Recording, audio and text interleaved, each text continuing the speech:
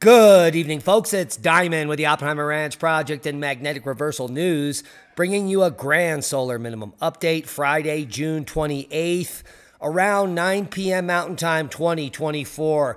We had a strong G4 geomagnetic storm earlier today. That is waning, coming from a plasma filament that wasn't expected to, well, create such a severe geomagnetic storm. Also today, a major earthquake in Peru. 7.2 magnitude tsunami warnings canceled. Keep calm, it's boom time. Large hail and damaging wind threatens the plains Midwest amid wide severe weather threat Friday. Severe thunderstorms may develop from parts of the central plains into the middle and upper Mississippi Valley through the evening on Friday. Large hail, damaging winds, and a few tornadoes are possible. In Colorado, afternoon storms return with a chance of ping pong ball size hail. Buckle up, Buttercup. Get that helmet on. Severe weather, heavy rainfall, and flooding possible across Kansas City Metro Friday. And Arctic Alaska pummeled by rare severe storms, creating a first for the National Weather Service. And what is that first? You have to figure anyone who's receiving the warning would be surprised. It turns out that they are the most northernmost and westernmost severe thunderstorm warnings ever issued in the U.S. and its territories, according to Alaska climatologist Brian Brettschneider. The latest warning of the four issued Thursday, reaching 68.3 degrees north and 164.64 degrees west. While this is a record, it is a record based on position and nothing else. Shut up, Al. Get in your hole. He says it doesn't snow in Alaska. Video shows a meteotsunami slamming Lake Michigan amid days of severe weather. Here is what to know, and let's take a look at the meteotsunami. All right, here comes. There it is.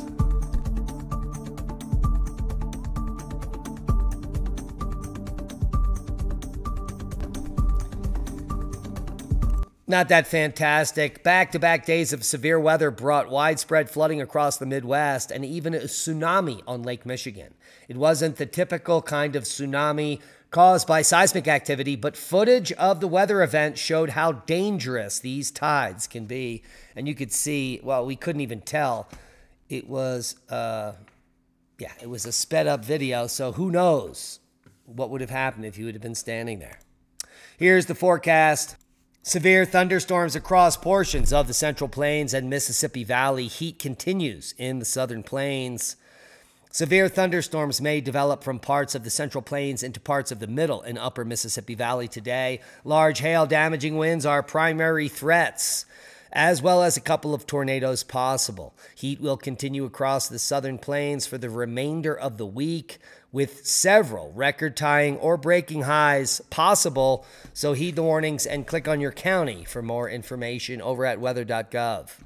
A quick look at the GFS model shows very little severe weather until the end of the weekend here, Sunday, fun day for Pennsylvania, central Pennsylvania, as a system moves east, bringing rain all the way through Monday morning. And that is about all to report on over the next several days. Nothing spectacular in the forecast. South America's snowiest start to a season in 30 years. And you don't hear any. Shut up, Al. Get, get in your hole. Al Gore is very upset about the record breaking snow in the southern hemisphere. Record cold freezes the sea in Tierra del Fuego down near Antarctica. And well, the media is silent. South America's snowiest start to a season in 30 years. The ski season in South America is shaping up to be one of the most remarkable in decades. Early season snowfall has been abundant, with multiple storms blanketing resorts across Chile and Argentina, and we can thank Hunga Tonga for that. Record cold freezes the sea in Tierra del Fuego. The remarkable snows in Chile and Argentina are coinciding with persistent and record breaking cold. This May was Chile's coldest since 1950, according to the country's meteorological agency, and the new chill is now intensifying through June, which is a June boom. Tsunami warning canceled after a 7.2 magnitude earthquake hit Peru. A large magnitude 7.2 earthquake struck Peru early Friday morning, but authorities canceled a possible tsunami alert after just a few hours.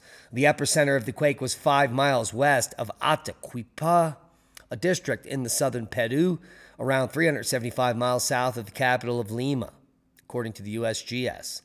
The quake struck at 12:36 a.m. local time, some 17 miles below the surface, minimizing damage. Had it been any higher, way more damage would have occurred. Just a few people injured and no deaths currently. Worldwide, oh, here is the seismic update, and there is that 7.2 in Atiquipa, Peru. Just one aftershock being reported at 4.4. Overall, low level activity worldwide.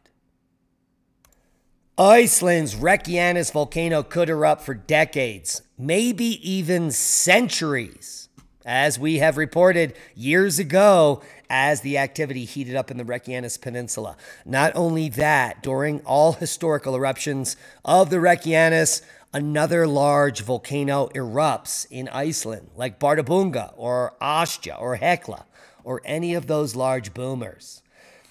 But the sad news is that the ongoing eruption on the Reykjanes Peninsula has not only forced authorities to declare a state of emergency repeatedly, but many people have been evacuated from their lifetime homes. And based on new data, it seems possible that the volcanic activity will continue for years to decades and possibly even centuries. And the latest deformation measurements show rapid uplift in Svartsengi, the speed of land increased after the eruption ended just a few days ago and is now greater than was ever measured before the eruption that began on May 29th. The rate of deformation can be interpreted as the magma inflow into the magma sphere at a depth of 4 to 5 kilometers. Continuing today, with these assumptions as a guide, it can be assumed that the system will behave in similar ways as before and that a new magma intrusion and or eruption will occur again in this area in the coming weeks unfortunately. Santa barbara volcano in the center of the atlantic the azores the ancient home of atlantis earthquake activity triggers a volcano uh, alert take a look at this the institute of volcanology of the University of the Azores increased the volcanic alert level of Santa Barbara volcano on Terceira Island to V3 on a scale ranging from 0 to 6th. Red, showing eruption. The decision came after a new seismic crisis has been affecting the western part of the island since June 24, 2022. Who knew? Now you do. And the West the rest of the worldwide volcano news update Fuego today to 17,005. Etna, Santiaguito, Fuego, Karaminsk, all on the list. Reventador, 14,000 foot puff. Semeru, 15,000 foot puff. Sangay to 21. Karaminsk, 15,000 foot puff. Santiaguito, 13,000 foot puff. Ibu, puffing to 10,000 foot today.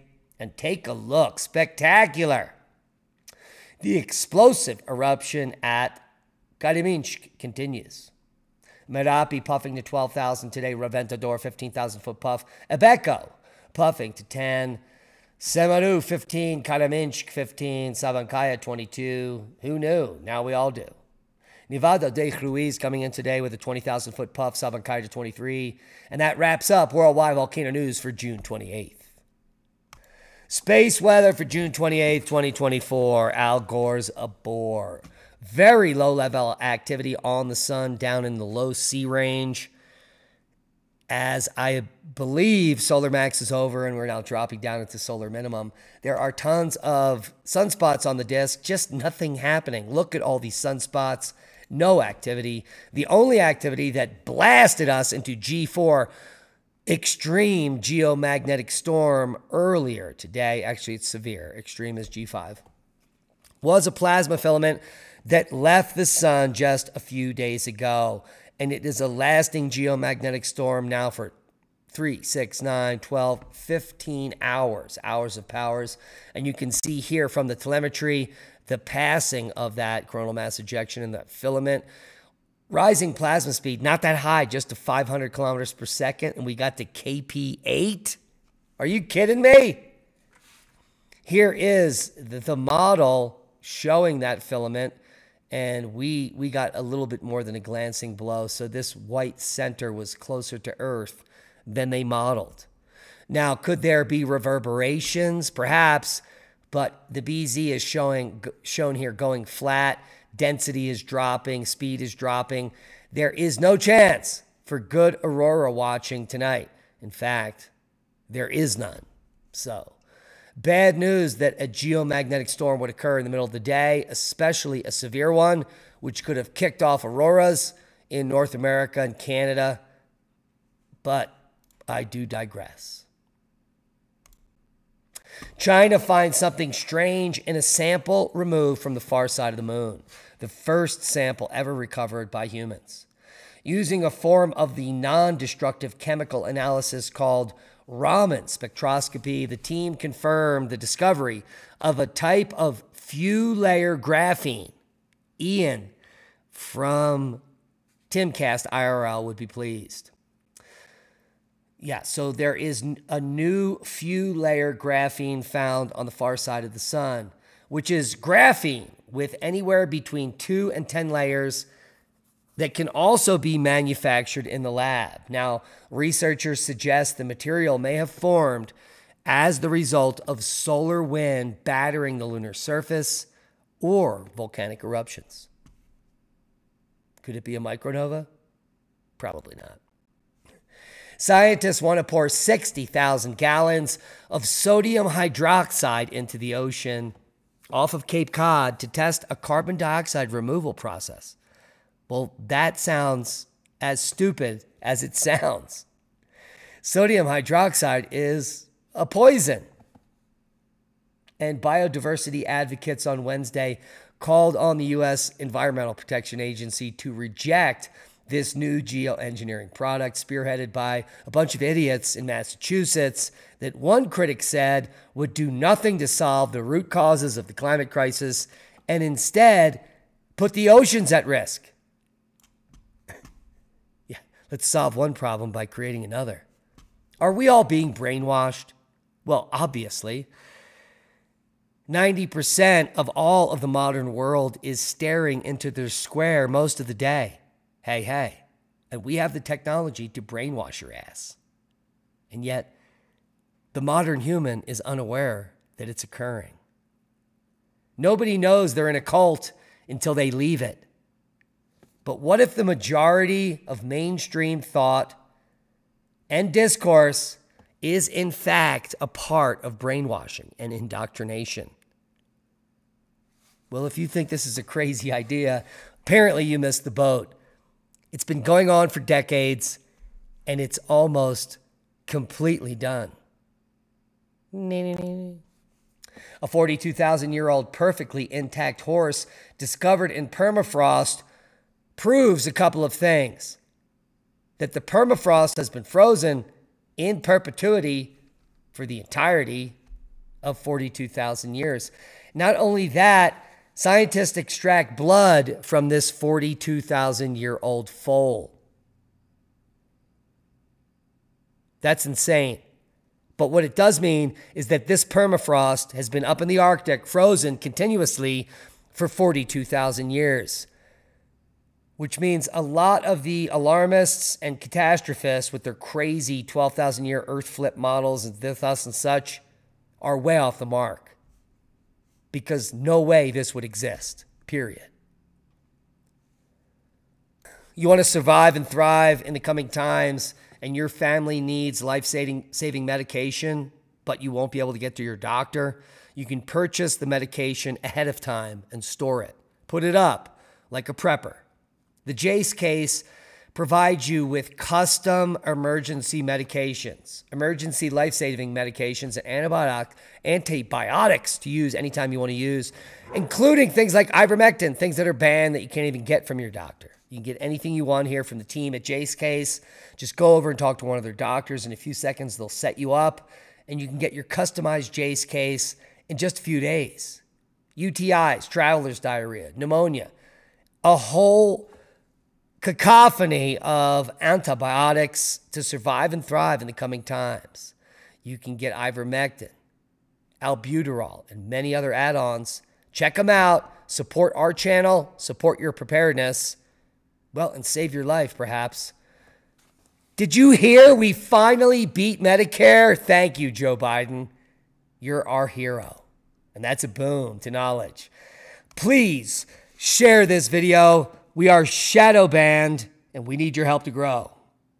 Become a Patreon, support the work we do, watch all of our podcasts in one place, commercial free. We'll see you all in Crestone for the 4th of July celebration. And be safe. We love you. And that is a boom.